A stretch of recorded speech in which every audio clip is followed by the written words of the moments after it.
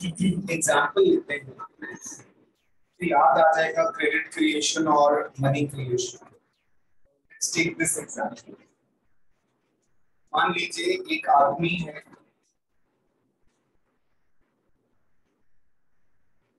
नाम है मदन लाल। मदन लाल जो है, वो एक बैंक गया। बैंक ए बैंक ए में गया और बैंक ए में इसने जाकर हज़ार रुपए डिपॉजिट इसके घर में थे, ले जाकर हज़ार रुपए डिपॉजिट कर दिए इसमें बैंक ए बैंक ए की बैलेंस शीट जब हमने बनाई तो बैलेंस शीट में क्या आया? इधर कैश आई हज़ार रुपए और इधर डिपॉजिट आया। जो डिपॉजिट है, ये बैंक के लिए लाइबिलिटी है। ये जो डिपॉजिट है बैंक के लिए क्या है? लाइबिलिटी अब सरकार ने बैंक से कहा था कि सीआरआर जो है, वो ट्वेंटी परसेंट रखो। C R cash reserve cash reserve ratio twenty percent रखो तो ट्वेंटी परसेंट रखने पर बैंक ने बैंक ए की ही बात कर रहा हूँ। बैंक ए के पास डिपॉजिट हज़ार है। ठीक है? कैश 200 हो गए। क्योंकि बैंक को अपने पास 200 रखने हैं 20 परसेंट के हिसाब से बाकी 800 बैंक क्या करेगा? ठीक है? ये लोन दे दिया आपने टू चंदन लाल आठ सौ अब बैंक की बैलेंस शीट बैंक ए की ही बैलेंस शीट कैसे बदल गई बैंक ए की बैलेंस शीट में कैश आ गया दो सौ रुपए ठीक है और लोन जो चंदन लाल को दिया है ये लोन बैंक के लिए एक एसेट हो गया। This is an asset for bank is that अब जब बैंक चंदन लाल को लोन देगा ना तो चंदन लाल को कैश नहीं देगा। ऐसा नहीं होता कि लोन आपको कैश में मिले। आपको लोन के नाम पर एक अकाउंट और खोल देते हैं। उस अकाउंट में पैसा जमा करते हैं। और वो जो पैसा जमा करते हैं, उस पैसे का आप आगे चेक काट लीजिए। चंदन लाल ने आगे चेक काट कर दे दिया आठ सौ रुपए का और वो चेक गया किसके पास? छगन लाल के पास। एक और बंदा आ गया छगन लाल छगन लाल के पास 800 का चेक है। वो 800 का चेक क्या करेगा? वो अपने बैंक में डालेगा। एक और बैंक पिक्चर में आ गया। बैंक बी इस बैंक बी में आठ सौ रुपए का कैश आ गई और डिपॉजिट आ गया कितने का? आठ सौ। जैसे उसने चेक यहाँ पर क्लियर कराया आठ सौ रुपए का डिपॉजिट क्रिएट हो गया। फिर इस बैंक ने ये बैलेंस शीट है इसकी। अब इस बैंक में बैलेंस शीट कैसे चेंज होगी? इसने ट्वेंटी परसेंट अपने पास रखा और लोन दे दिया किसी को छह सौ चालीस रुपए। राइट बैंक ने 640 का किसी को लोन दिया। पहले बैंक के पास हज़ार रुपए आए थे। हज़ार रुपए में ये बैलेंस शीट बनी थी। उस हज़ार रुपए में से बैंक ने दो सौ रुपए अपने पास रख लिए थे। आठ सौ रुपया लोन दे दिया था। फिर आठ सौ रुपया जिसको लोन दिया था, उसने वो चेक किसी को दे दिया। वो चेक किसने अपने बैंक में जाकर डिपॉजिट किया तो उस बैंक की सिचुएशन ये है कि बैंक के पास डिपॉजिट आ गया और कैश आ गया। फिर उस बैंक ने डिपॉजिट तो वही रहा, लेकिन इसमें से 20 परसेंट अपने पास रखा क्योंकि सरकार ने सीआरआर फिक्स करी है। 20 परसेंट यानी कि जितनी भी ट्रांजैक्शन होंगी, उसका 20 परसेंट आपको अपने पास रखना होगा। तो 20 परसेंट अपने पास रखने के बाद बाकी जो है हमने लोन दे दिया। 640 का लोन हो गया। अब ये लोन इस तरह से आगे बढ़ता जाएगा? हज़ार का डिपॉजिट आया। 200 रखा 800 लोन दिया दूसरी बार में 800 का डिपॉजिट हुआ 160 रखा 640 लोन फिर थर्ड में 640 आया 128 रखा 512 का लोन ऐसे चलता जाएगा। ऐसे चलते चलते आपका डिपॉजिट जो है वो पाँच हज़ार रुपये हो वो पाँच हज़ार रुपए के आपने डिपॉजिट इकट्ठे कर दिए वो पाँच हज़ार का डिपॉजिट यानी कि आपने एक हज़ार रुपए को पाँच हज़ार में बदल दिया। आपके पास इनिशियली मदन लाल ने अपने घर में से हज़ार रुपए लाया था। वो हज़ार रुपए लाकर बैंक को दिए और बैंक के पास इतनी पावर है कि उस हज़ार रुपए को बैंक ने कितना बना दिया? पाँच हज़ार रुपए। इसको कहते हैं क्रेडिट या फिर मनी क्रिएशन एक्चुअल में हो कुछ नहीं रहा है। लेकिन through primary deposits and secondary deposits हमारा पैसा एक्सपैंड होता जा रहा है। ये हज़ार रुपए का प्राइमरी डिपॉजिट उसके बाद ये सेकेंडरी डिपॉजिट होते होते होते होते अमाउंट इंक्रीज होता चला जा रहा है। तो ये जो अमाउंट इंक्रीज हो रहा है, इसके लिए हम एक क्रेडिट मल्टीप्लायर यूज़ करते हैं। क्रेडिट मल्टीप्लायर होता है one upon L R R इसको अगर मैं इनिशियल डिपॉजिट से मल्टीप्लाई कर दूँगा तो मुझे पता चलेगा कि मैंने कितना डिपॉजिट टोटल क्रिएट किया। मैंने हज़ार रुपए इनिशियली जमा करे थे, और उससे मैंने कितने, वह मेरा एल आर आर कितना है? Twenty percent one upon zero point two लिख सकता हूँ इसको। हाँ या नहीं? एल आर आर कितना था? एल आर आर यानी सी मेरे कितना था? ट्वेंटी परसेंट ट्वेंटी परसेंट को ज़ीरो पॉइंट टू लिख सकता हूँ। So it becomes total of 5000 rupees. ये मैंने पाँच हज़ार रुपए का क्रेडिट क्रिएट कर लिया through primary deposits and secondary deposits तो बैंक्स जो है, हमारे कमर्शियल बैंक्स के पास, बेटा आरबीआई तो पैसा छापता है। कमर्शियल बैंक्स इस तरह से पैसा बनाते हैं। पैसे से पैसा कमर्शियल बैंक्स बनाते हैं। गेटिंग माय पॉइंट समझ आ रही है बेटा आपको मेरी बात? तो अगर कोई इनिशियल डिपॉजिट लेकर आए तो उससे ये क्रिएट होता है। किसी ने कहा, सर, इसमें कुछ प्रॉब्लम्स भी तो होंगी, कुछ लिमिटेशन भी होंगी। हमने कहा हाँ है, कुछ लिमिटेशन तो इसमें है। इससे क्रेडिट क्रिएट होता रहेगा, ऐसा तो कोई ज़रूरी नहीं। मान लीजिए, लोगों की बैंकिंग हैबिट ही नहीं बैंकिंग हैबिट नहीं होगी तो मदन लाल हज़ार रुपए लेकर नहीं जाता कई गाँव में आज भी लोग पैसा अपने घर में ही रखते कोई बैंक नहीं जाता। Nobody goes to bank. ये तो जनधन योजना से बैंकिंग थोड़ी हैबिट शुरू हुई है, जो मोदी जी ने 2016 में शुरू करी लोगों के बैंक अकाउंट खुलवाए। Otherwise people don't go to bank bank जाते ही नहीं। तो अगर बैंकिंग हैबिट नहीं होगी तो ये क्रेडिट क्रिएशन हो ही नहीं सकता। पॉसिबल ही नहीं है। ये पहली लिमिटेशन दूसरा एलआरआर अगर आरबीआई ने एलआरआर बढ़ा दिया, जितना एलआरआर बढ़ेगा उतना क्रेडिट क्रिएशन कम होगा। क्योंकि बैंक्स को अपने पास उतना पैसा ज़्यादा रखना पड़ेगा। मान लीजिए, अभी ट्वेंटी परसेंट एल था तो हज़ार रुपए में से आपने कितने पैसे अपने पास रखे? दो सौ। अगर ये एल बढ़कर थर्टी परसेंट हो गया तो आपको कितने पैसे अपने पास रखने पड़ेंगे? तीन सौ। अपने पास कितने पैसे रखने होंगे? तीन सौ रुपए। तो तीन सौ रुपए रखोगे तो सात सौ ही लोन दे पाओगे। तो एल आर आर अगर आरबीआई ने बढ़ा दिया तो आपकी क्रेडिट क्रिएशन लिमिटेड हो जाएगी। ठीक है?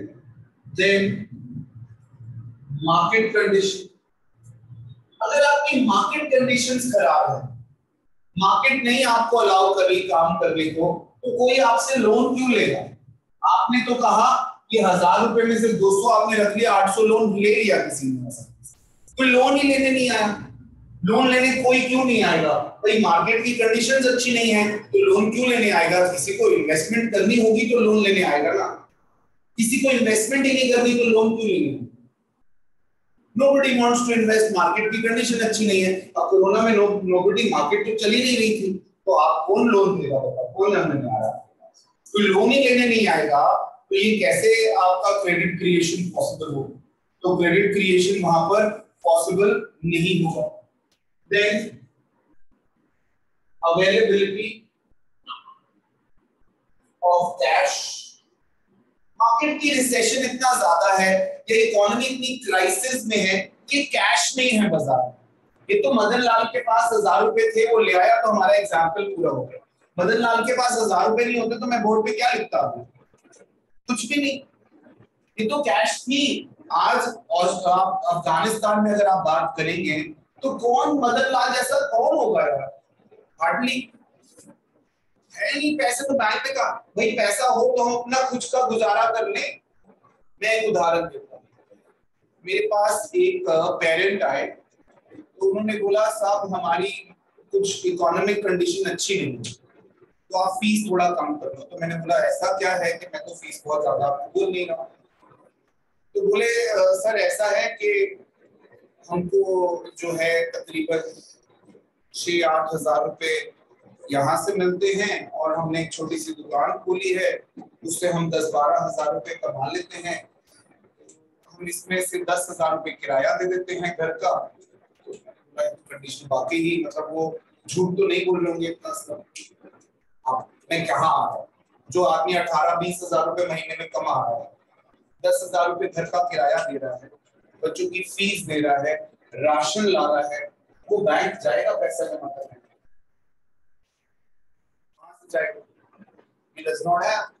बैंक तो सेव करने को जाएगा ना, जिसके पास एक्स्ट्रा होगा। सेविंग के लिए पैसा ही ना हो तो बैंक क्यों जाएगा अब कैश ही अवेलेबल ना हो। इकोनॉमी की कंडीशन इतनी खराब है। तो फिर ये क्रेडिट क्रिएशन कहाँ से होगा? क्रेडिट क्रिएशन के लिए पहला बीज लगना तो ज़रूरी है ना। अगर आप चाहते हैं पेड़ बड़ा हो तो बीज तो कोई डालेगा ना वो तो बीज ही ना हो तो फिर क्रेडिट क्रिएशन कैसे पॉसिबल होगी? तो क्रेडिट क्रिएशन की ये लिमिटेशंस हैं, जिसकी वजह से क्रेडिट क्रिएशन रुक जाए। ठीक है? देन एक और more of outflow of cash पैसा जो है इकोनॉमी से बाहर ज़्यादा जा रहा है। इसको हम कहते हैं लीकेजेस एक होता है इंजेक्शन एक होता है लीकेज इंजेक्शन किसको कहते हैं? इकोनॉमी में पैसा सर्कुलर फ्लो में घूम रहा अगर कोई पैसा बाहर से आकर इकोनॉमी में लगा दे, एक इन्वेस्टमेंट कर दे, पैसा कहीं बाहर से पैसा आ जाए, हम एक्सपोर्ट करें और पैसा आ जाए, इससे तो कहते हैं इंजेक्शन क्या कहते हैं? इंजेक्शन एक होता है कि पैसा सर्कुलर फ्लो से कहीं बाहर लीक हो जाए उसे कहते हैं लीकेज आपका पैसा फर्म से हाउस होल्ड से गवर्नमेंट गवर्नमेंट से फॉरन ऐसे घूम रहा था मगर यहाँ बाहर हो गया। लोगों ने कहीं दबा लिया वो पैसा। या बाहर चला गया, देश से बाहर चला गया पैसा। तो हमारे पास पैसा है ही नहीं। तो फिर कैसे होगा बताइए फिर ये क्रेडिट क्रिएशन कैसे होगा? So there are, these are certain limitations जिसकी वजह से क्रेडिट क्रिएशन हमारी रेस्ट्रिक्टेड हो जाती है। हमारी क्रेडिट क्रिएशन में जो ये हम कह रहे हैं कि इतने से इतना बन जाएगा, वो ज़रूरी नहीं है। एक और limitation difference in time of saving borrowing हम क्या उम्मीद कर रहे हैं? हम ये उम्मीद कर रहे हैं कि आज ही सेव करेंगे और आज ही हमसे कोई बोरो कर लेगा हम तो ये उम्मीद लगा के बैठे हैं कि आज ही हम सेव करेंगे और आज ही कोई हमसे बोरो करेगा लेकिन ये कोई ज़रूरी तो नहीं है कि हम आज ही सेव करें और आज ही गौरव कर लें। आज बैंक के पास पैसा आया 2022 में। बोरोइंग हुई बैंक से 800 रुपया गौरव हुआ, लेकिन आज नहीं हुआ। 2023 में हुआ। इस साल की क्रेडिट क्रिएशन तो रुक गई। समझ रहे मेरी बात, आपने 2022 में पैसा जमा करा। हम 2022 में ही पैसा जमा हुआ और 2022 में किसी ने बोरो कर लिया बैंक से। तो तो ठीक है साइकिल चल पड़ी कि आपने हज़ार रुपए जमा करे, किसी ने आठ सौ रुपए का लोन ले लिया। लोन लिया, लेकिन आज नहीं लिया। इस अकाउंटिंग ईयर में नहीं लिया। तो इस नेशनल इनकम में तो काउंट नहीं होने वाला। है तो, तो अगले साल में चला गया। तो difference between saving and borrowing इसकी वजह से भी क्रेडिट क्रिएशन कहीं ना कहीं रिस्ट्रिक्टेड हो गया। ये बात समझ रहे क्रेडिट क्रिएशन क्या होता है और इसमें क्या क्या प्रॉब्लम्स आ सकती हैं। कोई और लिमिटेशन जो आपको याद आ रही हो या आपके मन में हो सर ये भी लिमिटेशन हो सकती है। जो आपने कहीं पढ़ी हो आपको जहन में आ रही हो तो मुझसे शेयर करें। Nothing?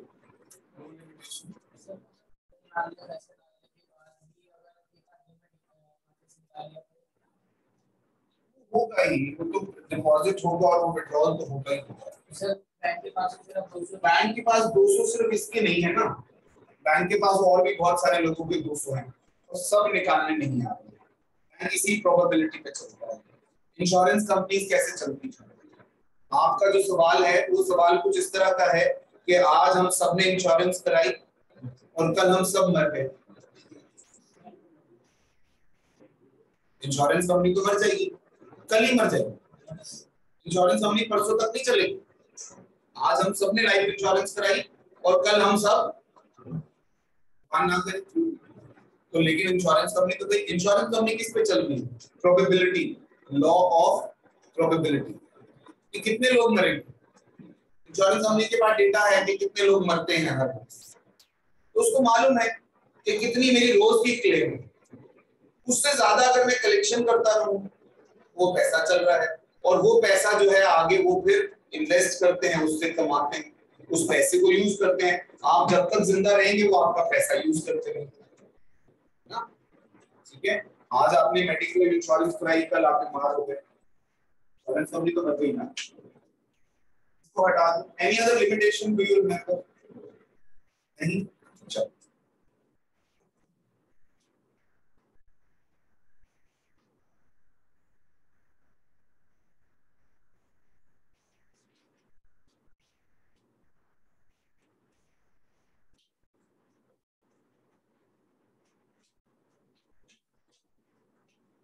एक और टॉपिक है जो मुझे आज कवर करना है।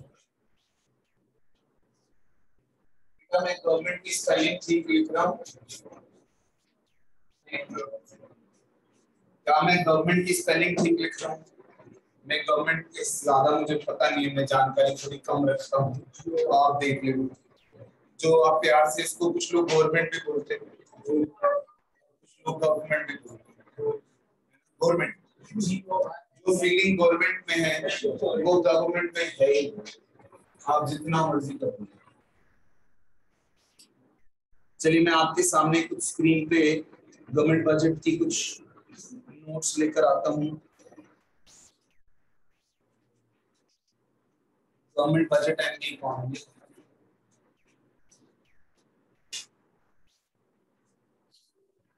government budget and economy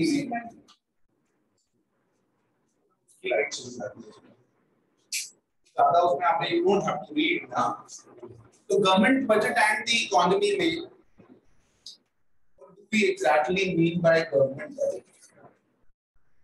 इससे पहले कि गवर्नमेंट बजट की बात करूँ, हम क्यों ना बजट की बात करें सर क्या होता है बजट एनी वन ऑफ़ आप में से कभी किसी ने आज तक कोई भी बजट बनाया कभी एनी टाइम किसने बनाया है? अपने लिए। आपने बनाया है?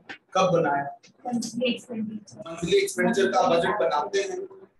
ओके तो उसमें आप रिसीट्स और आउटफ्लो कि कितना पैसा आएगा कितना पैसा मैं कहीं से चुरा लूँगी और बाकी मैं कहाँ कहाँ खर्चा करूँगी। चुराऊँगी नहीं। दे देते हैं घर वाले।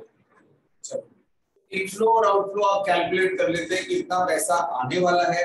और इतना पैसा जाने वाला है। आप बनाते हैं अपने लिए बजट क्या बजट हमेशा पॉजिटिव रहता है?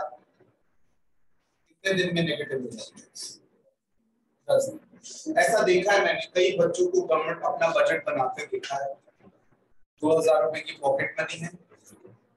और दो हज़ार रुपए में से बच्चे महीने में पाँच सौ रुपए का केवल खर्चा बजट में दिखाते हैं। और वो ये दिखाते हैं कि पंद्रह सौ रुपए हम इस महीने सेव करें अगर हालात कुछ ऐसे नासाज रहते हैं कि पाँच सात दिन में वो फिर से बैंक करप्ट हो जाते हैं। और वो फिर लोगों के आगे, भाई, यार, समझ, भाई भाई तेरा यार, आज तू मदद करेगा, कल मैं कर दूँगा यार। यहाँ पर हम अपने बजट को बनाते तो हैं, लेकिन बजट हमारा किसमें चला जाता है? जैसे डेफिसिट मतलब हमारे खर्चे ज़्यादा और रिसीट्स कम। और एक सरप्लस बजट होता है, जो ज़्यादातर लड़कियाँ बना लेती हैं। लड़कों के बस की बात नहीं होती। लड़कियाँ नॉर्मली सरप्लस बजट बना लेती हैं, उनकी रिसीट ज़्यादा होती है और खर्चे कम। ज़्यादातर मैंने देखा है रक्षाबंधन भाई दूज वाले महीने उनके बजट सरप्लस जा रहे हैं। पैसा बहुत है। ना भाई लोग उधार मांग रहे होते हैं बहनों से कि दे दे यार, पूरा दे दे, मैंने जूते लेने ऐसा होता है। तो सरप्लस बजट जहाँ रिसीट्स ज़्यादा और खर्चे। बेटा रिसीट्स को रिसीट्स बोलना इनकम मत बोलना पाप। ठीक है? रिसीट्स को रिसीट्स बोलना और खर्चों को पेमेंट्स उन पेमेंट्स को हम एक्सपेंडिचर्स बोलते हैं क्योंकि एक्चुअल में वो जा रहे हैं। अब गवर्नमेंट बजट भी कुछ इस तरह से ही होता है, जैसे हम लोग बनाते हैं कि महीने में, साल में कितना पैसा आएगा और कितना पैसा जाएगा। Budget is nothing but a plan और प्लान किसके लिए होता है? फ्यूचर के लिए। तो हम फ्यूचर के लिए प्लान करते हैं कि हमारे पास पैसा कहाँ कहाँ से आएगा और कहाँ कहाँ जाएगा। जैसे आपके केस में आप क्या प्लान करते हो? पापा से कितने मिल जाएँगे? मम्मी से कितने मिल जाएँगे? या कहीं से और कहाँ से आ जाएँगे और फिर खर्चे कहाँ कहाँ करने हैं? फ़ोन रिचार्ज कराना है, कहीं घूमने जाना है, कपड़े लेने हैं, जूते लेने हैं, जुआ खेलना है, शराब पीनी है, सब खर्चे आप इंक्लूड करके रखते हो। नहीं? So that is a government budget government budget शराब में तो नहीं होती, मगर हम ये प्लान करती है गवर्नमेंट के कहाँ कहाँ से रिसीट्स आने वाली है और पेमेंट कहाँ कहाँ जहाँ बजट डेफिसिट लॉन्ग टर्म में जाता है, वहाँ बेटा सरकारें गिर जाती है, वहाँ इकोनॉमी फेल हो जाती है। What is happening in Sri Lanka budget must be deficit for years. Budget must be deficit तो होता ही है। डेवलपिंग कंट्रीज़ का हमने देखा है कि बजट डेफिसिट में होते ही क्योंकि डेवलपिंग कंट्रीज़ के खर्चे ज़्यादा होते हैं, और रिसीव्स उतनी नहीं होती। आप देखो हमारे देश में we are a developing country आपको लगता है we are a developing country नहीं. We are a developing country हमें खर्चे बहुत सारे करने हैं. हमारी सड़कें भी बहुत करनी है. हमारे बहुत जगहों पर बिजली, पानी पहुँचना है. हमारे शहरों में मेट्रो बननी है. हमारे शहरों में बड़े बड़े घर बड़े बड़े कमर्शियल बिल्डिंग्स बननी है. तो इनके लिए पैसा तो चाहिए. एटॉमिक एनर्जी के लिए पैसा चाहिए. मिसाइल्स के लिए पैसा चाहिए. लोगों को एम्प्लॉयमेंट देने के लिए पैसा चाहिए. तो खर्चे तो बहुत सारे हैं और रिसीव्स कम है। तो इसीलिए हमारा बजट जो है वो नॉर्मली डेफिसिट में रहता है। तो budget government budget is nothing but a plan in which government predicts the future receipts and future payments government budget के ऑब्जेक्टिव्स हैं। गवर्नमेंट बजट के कंपोनेंट्स में मैं बात पे आऊँगा पहले हम objectives very very important objectives में हमारा पहला ऑब्जेक्टिव जो आपको दिख रहा है allocation and function of government budget allocation function of government देखो एलोकेशन क्या होता है, मेरी बात को ध्यान से सुनो। और कुछ ऐसा सोचिए कि आप एक ऐसे देश में अभी आए हैं, जो देश हमने दुनिया ने अभी अभी ढूंढा है। सुनना मेरी बात। हमने नया नया देश, एक शहर ढूंढा है उस शहर में बहुत ज़मीन है। नया नया नोएडा बसा। दस, बीस साल हुए, पच्चीस साल होंगे नोएडा को बस पूरी ज़मीन खाली थी दिल्ली जैसा तो नहीं था। आज भी आप जाएँगे तो बहुत आगे आप ग्रेटर नोएडा की तरफ़ जाएँगे तो ज़मीन ही ज़मीन अब ज़मीन खाली खाली है, बिल्कुल खेत है और कुछ नहीं है। नाउ व्हाट विल हैपन सरकार ने अनाउंस कर दिया, इस गवर्नमेंट की ज़मीन को हम आप लोग खरीद सकते अब वो खरीदी बेची कैसे जाए? डिमांड और सप्लाई के पास। जिस ज़मीन की डिमांड ज़्यादा होगी, कि भैया यहाँ से रोड आनी है, यहाँ एयरपोर्ट आना है, यहाँ हॉस्पिटल आना है तो उन जमीनों की कीमतें ज़्यादा होंगी और वो जमीनें बिकेंगी। और जिनकी कोई लोकेशन ऐसी नहीं होगी जहाँ डिमांड बहुत अच्छी नहीं होगी, वो सस्ती बिकेगी अगर ऐसे ही बिकेगी ज़मीन। आप सोच के बताओ, मुझे अब खाली ज़मीन है और सरकार ने बताया कि इस नक्शे में बता दिया, यहाँ पे एयरपोर्ट आएगा, यहाँ पर स्कूल हो सकते हैं या हॉस्पिटल हो सकते हैं। आपने उसके आसपास की जमीनें खरीदी। अब वो आसपास की जमीनें आपने खरीद ली क्योंकि आपको लगा कि ये लोकेशन अच्छी है। कुछ पीछे की लोकेशन आपने छोड़ दी, वो सस्ती होगी। अल्टीमेटली जमीने डिमांड और सप्लाई पे बिक गई। अभी हो गया तो जमीनें बिक गई। इसको कहते हैं एलोकेशन ऑफ़ रिसोर्सेस ये वाला एलोकेशन ऑफ़ रिसोर्सेस किसके बेसिस पे हुआ? प्राइस मैकेनिज्म प्राइस मैकेनिज्म यानी डिमांड एंड सप्लाई फोर्सेस के बेस पे जो हो गया उसे प्राइस मैकेनिज्म अब प्राइस मैकेनिज्म के बेस पे ये हमने एलोकेट कर दिया। एलोकेट कर दिया और सरकार को लगता है ये इक्विटेबल एलोकेशन नहीं हुआ दिस एलोकेशन इज़ अनफेयर ये एलोकेशन फेयर नहीं है।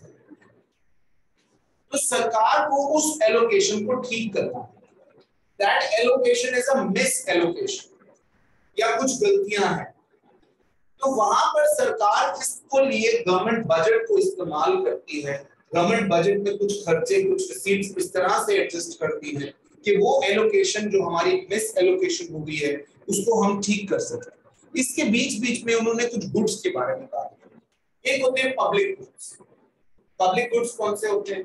जो गुड्स सरकारी गुड्स हैं, जो सबके गुड्स हैं कलेक्टिव गुड्स हैं, जिनको कोई भी इस्तेमाल कर सकता है, जैसे पार्क है आपकी कॉलोनी कभी आपने देखा है, किसी को मना किया गया हो कि इस पार्क में आप नहीं आ सकते? कभी कोई कह सकता है लेकिन कोई अपने घर में तो आने से मना कर सकता है। That is a private good आपकी गाड़ी प्राइवेट गुड जो बसेस चल रही हैं that is a public good bus में किसको मना कर सकते हैं जाइए गाड़ी में ऐसा हो सकता है कि आपकी गाड़ी जा रही हो, किसी ने हाथ दिया हो कि बिठा भाई मुझे मैं टिकट ले लूँ।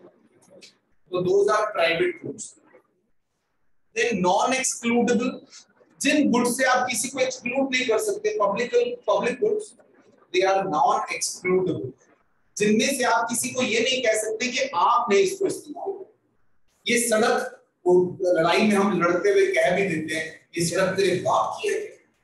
बोलते हैं ना ऐसा? बोलते हैं कि नहीं बोलते हैं? और वो सामने वाला कहता हाँ मेरे बाप की है। कुछ नहीं होने वाला। एट दी एंड वो आपस में बातें करते रहेंगे, दस मिनट, पंद्रह मिनट। मैं तेरी ऐसी तैसी कर दूँगा, वो तू मेरी ऐसी हाथ लगा के दिखा।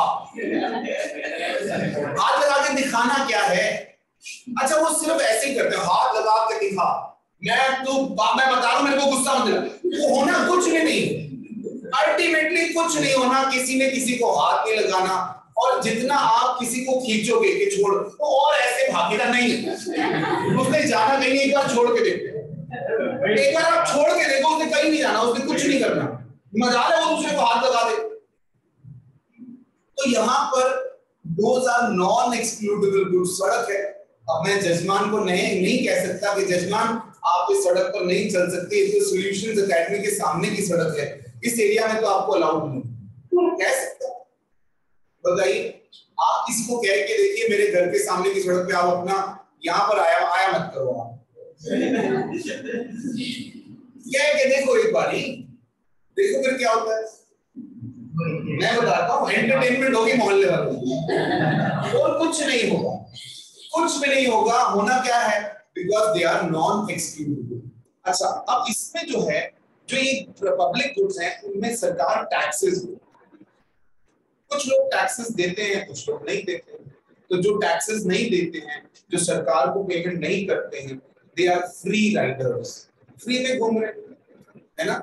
They have not contributed anything to the nation but they are enjoying the goods then public provision and public production ये सब इसी में redistribution function of government budget distribution of national income distribution of national income बेटा national income चार factors में land labour capital distribution हो रही है मगर इक्वल नहीं हो रही है मगर अनफेयर हो रही है गलत हो रही है, ऐसी डिस्ट्रीब्यूशन को ठीक करना है। क्योंकि रॉन्ग डिस्ट्रीब्यूशन से देश में इनइक्वालिटीज बढ़ रही हैं, देश में प्रॉब्लम्स बढ़ रही हैं। इसको डिस्ट्रीब्यूशन को ठीक करने के लिए सरकार बजट को इस्तेमाल करती है। एक example may not be an exclusive example मगर एक अच्छा एग्ज़ाम्पल आपको समझने के लिए।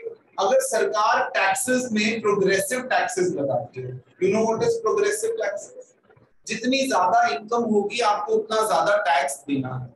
दे आर प्रोग्रेसिव टैक्सेस तो प्रोग्रेसिव टैक्सेस से सरकार अनइक्वल इनकम डिस्ट्रीब्यूशन को इक्वल कर लेती है। ना? प्रोग्रेसिव टैक्सेस से जिसकी ज़्यादा इनकम है, वो ज़्यादा टैक्स देगा। जिसकी कम इनकम है मेरे जैसों की, वो कम टैक्स देंगे। आपकी इनकम ज़्यादा है, आप ज़्यादा टैक्स दीजिए। है ना? इससे क्या होगा? आप जैसे अमीर लोग की इनकम हम छीन लेंगे। हम आपकी परचेजिंग पावर छीन लेंगे, आपकी इनकम नीचे आएगी क्योंकि आप ज़्यादा टैक्स दे रहे हो। और मेरे जैसे गरीब लोग अमीर होंगे क्योंकि हम टैक्स कम देंगे मेरे जैसे गरीब लोग ऊपर आएँगे और आपके जैसे लोग थोड़ा लेवल पे आएँगे तो रीडिस्ट्रीब्यूशन हो जाएगा। ठीक है? क्या कह stabilisation function of government stabilisation government stabilisation कब कब होगा? आप किसी चीज़ को स्टेबलाइज करने की कोशिश कब करो? जब वो चीज़ अनस्टेबल हो, जो चीज़ ऑलरेडी स्टेबल है, उसको स्टेबलाइज करोगे? मैं सीधा खड़ा हूँ स्टेबल खड़ा हूँ। कोई कहेगा मुझे सीधा खड़ा हो? ढंग से खड़ा हो हिल क्यों रहा है? मैं तो हिल ही नहीं रहा मैं बिल्कुल फर्म खड़ा हूँ एकदम। मुझे आप कहोगे हाँ कोई ऐसे खड़ा हो।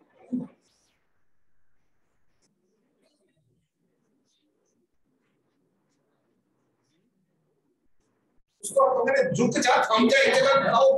ठीक से खड़े होकर बात करो। बच्चों को कहते ना, बच्चे खड़े होते ऐसे करते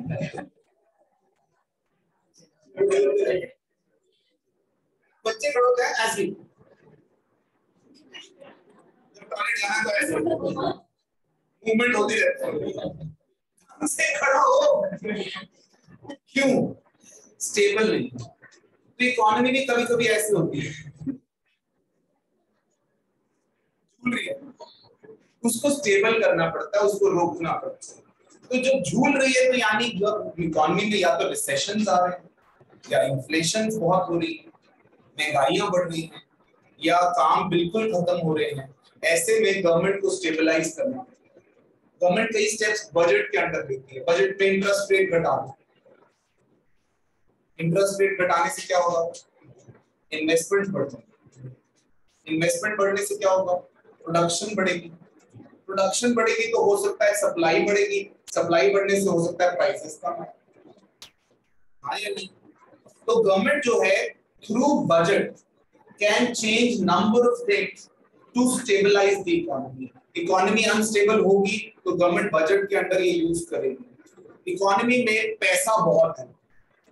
बहुत पैसा इन्फ्लेशन हो गई गवर्नमेंट फ़िज़िकल पॉलिसी के अंडर अपने खर्चे कम कर देगी। You know what is fiscal policy fiscal नहीं मैं होश में बोल रहा हूँ। Fiscal F I S C A L एक होती है मॉनेटरी पॉलिसी कौन चलाता है? आरबीआई और एक होती है फ़िज़िकल पॉलिसी सरकार चलाती है। फ़िज़िकल पॉलिसी के तीन components government receipts government expenditure और गवर्नमेंट बजट गवर्नमेंट रिसीट्स यानी गवर्नमेंट के पास पैसा जहाँ से आ रहा है, वो मेनली टैक्सेस से आता है। और गवर्नमेंट एक्सपेंडिचर जो सरकार खर्चे कर रही है, और गवर्नमेंट बजट इन दोनों का मिलता जुलता अब अगर इन्फ्लेशन है इकोनॉमी में तो सरकार ना सरप्लस बजट बना है। सरप्लस बजट से क्या होगा? सरकार ज़्यादा से ज़्यादा टैक्सेस कलेक्ट करेगी और कम से कम खर्चे करेगी। ज़्यादा टैक्सेस अगर सरकार कलेक्ट करेगी तो उससे क्या होगा? सरकार अगर ज़्यादा टैक्सेस कलेक्ट करेगी, आपके हाथ में परचेजिंग पावर भी छीन के ले जाएगी। सरकार के खर्चे करने से आपकी परचेजिंग पावर बढ़ के सरकार खर्चे कम करेगी तो आपकी परचेजिंग पावर कम होगी ना? तो इस तरह से सरकार जो है, आपकी परचेजिंग पावर खींच लेगी गवर्नमेंट बजट हम कंट्रोल तो this is stabilisation of economy अब आ जाते हैं हम बजट पर। ये पहले पढ़े आपके सामने एक फ्लो चार्ट आपको दिख रहा होगा। बहुत सिंपल सा फ्लो चार्ट है। हम दो तरह के बजट बनाते हैं। एक रिवेन्यू बजट बनाते हैं और एक कैपिटल बजट रिवेन्यू बजट में रिवेन्यू रिसीट्स और रिवेन्यू एक्सपेंडिचर्स कैपिटल बजट में कैपिटल रिसीट्स और कैपिटल एक्सपेंडिचर पहले तो रिवेन्यू और कैपिटल का मतलब समझो। एक्सपेंडिचर में भी यूज़ हो रहा है और रिसीट्स में भी यूज़ हो रहा है। रिवेन्यू का मतलब है जो बार बार रीअकरिंग और कैपिटल का मतलब है नॉन रेकरिंग यानी कभी कभी रिवेन्यू एक्सपेंडिचर का एक रिवेन्यू एक्सपेंडिचर और कैपिटल एक्सपेंडिचर में डिफरेंस समझते एक ऐसा एक्सपेंडिचर जो या तो आपका एसेट बढ़ा दे, आपने बिल्डिंग खरीदी या आपकी लाइबिलिटी घटा दे, आपने आईएमएफ का लोन वापस दे एक ऐसा एक्सपेंडिचर या तो आपके एसेट बढ़ा दे या आपकी लाइबिलिटीज को कम कर दे, उसे हम कैपिटल एक्सपेंडिचर कहते हैं। और एक ऐसा एक्सपेंडिचर जिससे ना ही आपके एसेट्स बढ़ रहे हैं, ना ही आपकी लाइबिलिटीज घट रही हैं, उसे हम रेवेन्यू एक्सपेंडिचर कहते हैं। You get my point revenue expenditure और कैपिटल एक्सपेंडिचर में फ़र्क पता चला एक ऐसा एक्सपेंडिचर जो आपके एसेट बढ़ा दे या लाइबिलिटी घटा दे, उसे हम कैपिटल एक्सपेंडिचर कहते हैं। और एक ऐसा एक्सपेंडिचर जो या तो आपके एसेट घटा दे या लाइबिलिटीज ना एसेट घटाए, ना लाइबिलिटीज घटाए ठीक? जैसे आपने देश में बिल्डिंग बनाई तो ये कैपिटल एक्सपेंडिचर है। उस बिल्डिंग को रिपेयर मेंटेन करा दैट इज़ रेवेन्यू एक्सपेंडिचर आपने मेट्रो बनाई, देश में मेट्रो रेल बनाई that is a capital expenditure लेकिन उस मेट्रो की रोज़ाना की मेंटेनेंस सैलरीज उसकी repairs that is revenue expenditure इसी तरह रेवेन्यू रिसीट और कैपिटल रिसीट कैपिटल रिसीट जिससे या तो एसेट बढ़ जाए या लाइबिलिटी बढ़ जाए। आपने अपनी कोई बिल्डिंग बेच दी। सरकार ने अपनी कोई कंपनी बेच दी गवर्नमेंट कंपनी बेच दी। कैपिटल रिसीट है, क्योंकि एसेट घट गया। या सरकार ने लोन ले लिया आईएमएफ से। लाइबिलिटी बढ़ गई। लाइबिलिटी का बढ़ जाना या एसेट का घट जाना that is capital receipt capital capital से ना एसेट लाइबिलिटी घट जाती है। रिवेन्यू रिसीट से ना एसेट घटेगा, ना लाइबिलिटी बढ़ेगी जैसे आपने अपनी गवर्नमेंट कंपनी बेच दी। गवर्नमेंट कंपनी थी तो ये आपकी इंडियन ऑयल कंपनी है। इंडियन ऑयल कंपनी जो पेट्रोल बेचकर पैसा ला रही है, वो तो आपका रेवेन्यू रिसीट है बार बार आता लेकिन अगर आप इंडियन ऑयल कंपनी ही बेच दो तो that is a capital Indian oil company से पेट्रोल बेचकर जो पैसा आ रहा है that is revenue receipt Indian railway से टिकट बेचकर जो पैसा आ रहा है that's a revenue receipt Indian railway ही बेचते हैं अ कैपिटल समझ रहे हैं? So revenue receipt capital receipt revenue expenditure capital expenditure हमने कुछ खर्चे तो पढ़ लिए, कुछ खर्चे अभी भी चीज़ रह गई। वो है प्लान्ड एक्सपेंडिचर और नॉन प्लान्ड बेटा गवर्नमेंट ने जो प्लान करे हुए खर्चे, वो खर्चे करना इज़ नोन एज प्लान और जो प्लान में नहीं थे, अचानक से सामने आ गए दे आर नॉन प्लान हमने अभी रिलीफ दिया है, श्रीलंका को कुछ पैसे मुझे नहीं लगता कि हमने प्लान किया होगा। ये हमारे फाइव ईयर प्लान तो प्लान एक्सपेंडिचर कैपिटल एक्सपेंडिचर भी हो सकता है। प्लान एक्सपेंडिचर रेवेन्यू एक्सपेंडिचर भी हो सकता है। इसे प्लान एक कैपिटल एक्सपेंडिचर है। कहीं अर्थक्वेक आ गया। और अर्थक्वेक की वजह से बहुत ज़्यादा बिल्डिंगों का नुकसान हो गया। बहुत ज़्यादा स्ट्रक्चर्स का नुकसान हो गया। And we had to recreate those structures. तो वो एक खर्चा है जो हमने सोचा नहीं था, जो हमने प्लान नहीं किया था, लेकिन हो गया। They are non plan plan expenditure non plan याद आया आपको? प्लान एक्सपेंडिचर नॉन प्लान अच्छा इसके अलावा एक खर्चा और होता है बेटा। Developmental expenditure non developmental expenditure जो खर्चा आपने डेवलपमेंट में लगाया दैट इज़ डेवलपमेंटल एक्सपेंडिचर और जो खर्चा आपका नॉन डेवलपमेंटल है रेकरिंग है, कोई मेंटेनेंस में हो रहा है दैट इज़ नॉन डेवलपमेंट अब रेवेन्यू डेफिसिट देखो बजट तीन तरह का होता है, मैं पहले भी बता चुका एक सरप्लस बजट जिसमें रिसीट्स ज़्यादा और खर्चे एक डेफिसिट बजट जिसमें खर्चे ज़्यादा और रिसीट्स और एक इक्वल बजट या बैलेंस्ड बजट जिसमें रिसीट्स और खर्चे बढ़ा अब डेफिसिट जो होता है, वो आगे हम बांट रहे हैं इसको। पहला रेवेन्यू डेफिसिट जो आप स्क्रीन पे देख रहे हैं। रेवेन्यू डेफिसिट किसको कहते हैं? जहाँ revenue expenditures are more than revenue receipts जहाँ पर रेवेन्यू एक्सपेंडिचर जो है, वो रेवेन्यू रिसीट्स से ज़्यादा हो, उसे हम रेवेन्यू डेफिसिट कहते हैं। Then fiscal deficit fiscal deficit जहाँ पर total expenditure more than total expenditure is more than total receipts जिसमें एक्सेप्ट बोरोइंग हम बोरोइंग नहीं इंक्लूड करते क्योंकि बोरोइंग तो इस डेफिसिट की वजह से करनी पड़ती है। बोरोइंग क्यों करनी पड़ रही है? क्योंकि ये डेफिसिट है। फ़िज़िकल डेफिसिट का मतलब है सरकार के टोटल खर्च वो रेवेन्यू और कैपिटल एक्सपेंडिचर दोनों। Are more than total receipts revenue receipts and capital receipts except borrowing अगर आपके टोटल खर्चे टोटल रिसीट से ज़्यादा हो जाए तो ये situation primary sorry fiscal deficit इसका फॉर्मूला देख रहे हैं total expenditure minus total receipts होना था, इसने क्या किया? Revenue receipt plus non debt creating capital receipts non debt creating यानी बोरोइंग के अलावा capital receipts non debt creating receipts का मतलब है बोरोइंग के अलावा। बेसिकली यहाँ होना क्या चाहिए था ब्रैकेट में? रेवेन्यू रिसीट प्लस कैपिटल मगर कैपिटल रिसीट में से कौन सी रिसीट माइनस कर दी इसने? हटा दी। Borrowing gross fiscal deficit net borrowings at home, plus borrowing from RBI plus borrowing from abroad बेटा बेसिकली ये ग्रॉस फिस्कल अच्छा आपको ऐसे भी सवाल आएँगे, जहाँ पर आपसे ये कहा जाएगा कि बोरिंग दी है और आपसे कहा जाएगा फ़िज़िकल डेफिसिट निकालो तो borrowing itself is a fiscal deficit मैंने अभी आपसे कहा फ़िज़िकल डेफिसिट हुआ उतनी हमने बोरिंग कर जितना फ़िज़िकल डेफिसिट हुआ, उसको कहाँ से पूरा करोगे आप? सारी रिसीट्स तो लगा चुके हो। अपनी रेवेन्यू रिसीट कैपिटल रिसीट सब कुछ लगा चुके हो। अब आप सरकार कहाँ से करेगी वो? आपके पास भी डेफिसिट हो जाए तो क्या करोगे आप? आप बोरो करोगे ना? आप कहाँ से उस डेफिसिट को खत्म करोगे? तो जो आपका डेफिसिट है is nothing but the borrowing तो बोरोइंग तीन तरह से। आप ये साथ साथ लिखते जाना बेटा। Total expenditure minus total receipts except borrowing ये आपका आपको फ़िज़िकल डेफिसिट देगा रेवेन्यू डेफिसिट क्या था revenue expenditure minus revenue receipt is your fiscal sorry revenue deficit fiscal deficit is total total uh, expense total expenditure minus total receipts except borrowing या फिर सिर्फ़ borrowings is also fiscal deficit borrowings from home borrowings from RBI borrowings from abroad borrowings from home यानी कि देश के अंदर लोगों से बोरो करना। आरबीआई से बोरो करना और विदेश से बोरो करना। गवर्नमेंट ये तीन जगह से बोरो करती है।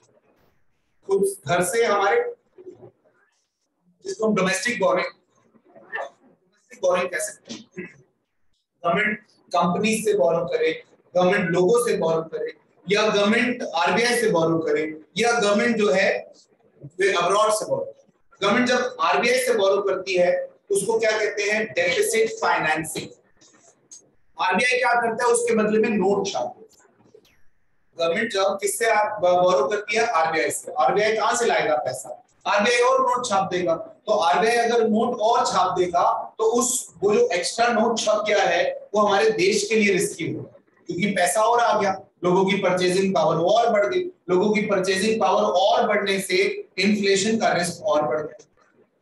तो उसे हम क्या कहते हैं? What do we call it deficit finance then primary deficit बेटा फ़िज़िकल डेफिसिट में से अगर हम इंटरेस्ट बोरिंग पे जो आप इंटरेस्ट दे रहे हो, वो माइनस कर दे तो हमारे पास प्राइमरी डेफिसिट आ जाए फ़िज़िकल डेफिसिट में से अगर मैं इंटरेस्ट पेमेंट माइनस कर दूँ तो मेरे पास क्या आ जाएगा? प्राइमरी डेफिसिट कुछ लोग इसका फॉर्मूला और बढ़ा देते हैं.